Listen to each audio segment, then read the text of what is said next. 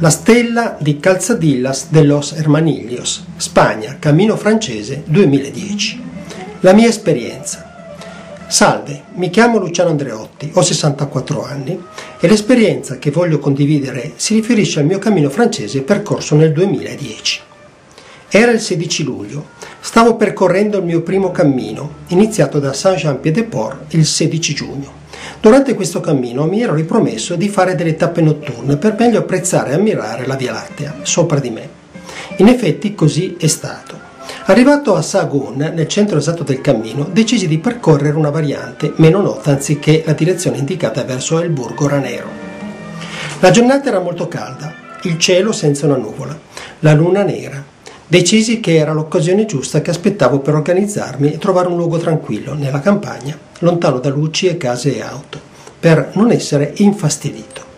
Arrivato ad un centro punto, ebbi la piacevole sorpresa di trovare una fuente del peregrino circondata da un piccolo parco con alberi ad alto fusto e con delle panchine per riposarsi. Sembrava un luogo perfetto per la mia esperienza notturna. Ero solo.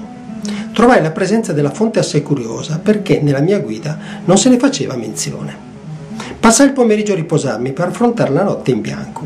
Iniziò a calare il sole e verso le 22 il cielo si stava oscurando, la notte avanzava. All'orizzonte cresceva un piccolo spicchio di luna che presto svanì. La condizione era veramente ottimale per osservare la Via Lattea. Mi misi disteso supino sul prato antistante la fuente, sul mio sacco a pelo.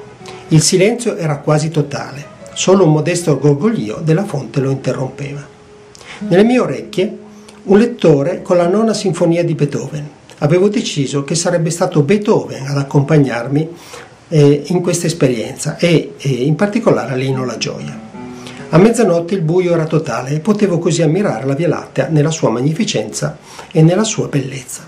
Bagliori la percorrevano in tutte le direzioni, a volte azzurri, a volte rosa, uno spettacolo davvero esilarante. Ero esaltato, emozionato ed estasiato, felicissimo di poter fare quella meravigliosa esperienza sul cammino di Santiago.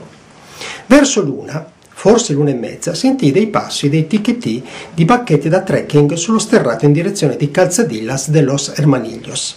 Un pellegrino, con una luce sulla fronte, stava percorrendo il cammino a quell'ora. Io ero nell'oscurità, ad una decina di metri dal ciglio della strada e difficilmente poteva vedermi. Ne fui sorpreso ma non infastidito. Egli era seguito a circa forse due o tre metri di distanza e altrettanti sopra di lui da un'altra luce. Pensai si trattasse di un altro pellegrino, certo molto più alto. Che strano, pensai. Strizzando gli occhi per mettere a fuoco questo secondo pellegrino, con mia meraviglia non vidi assolutamente nulla. Era una luce sospesa nell'aria. Perplesso e pieno di dubbi e interrogativi, seguì ancora il pellegrino che si stava rapidamente allontanando. A quel punto accadde l'imprevedibile. La luce si fermò proprio davanti a me, come dire, lei mi aveva notato. Si trattava di una luce fredda, poiché non illuminava l'ambiente circostante, ma solo se stessa, come, diremmo, fanno le stelle. Io allora mi misi in ginocchio sul prato, avvolto dal sacco a pelo, poiché incominciava a fare freddo immobile ad osservare senza fare assolutamente nulla. Certo avrei potuto avvicinarmi, fotografarla e tante altre cose, ma decisi di stare assolutamente immobile. Commosso iniziai a piangere dalla gioia e dallo stupore, un misto di emotività incontrollata mi colse. Potei inoltre assistere ad uno strano fenomeno collaterale. Mentre la fissavo, il campo visivo divenne una specie di teatro, oppure uno schermo eh, di un film, di un cinema, su cui si stava proiettando un film tridimensionale. Sulla sinistra visioni topografiche di centri urbani, a destra scene di guerra e di prigionia dove si evidenziava la croce dei Templari e al centro una moltitudine di gente in cammino verso un'ipotetica meta.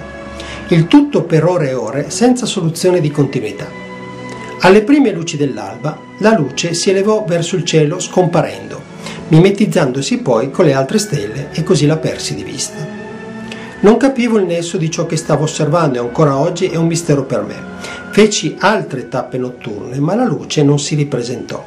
Proseguì il cammino verso Santiago che raggiunsi i primi giorni di agosto.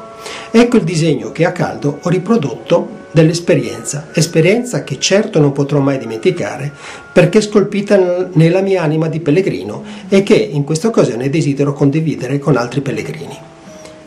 Vi ringrazio di avermi ascoltato Ultrea et Suseia.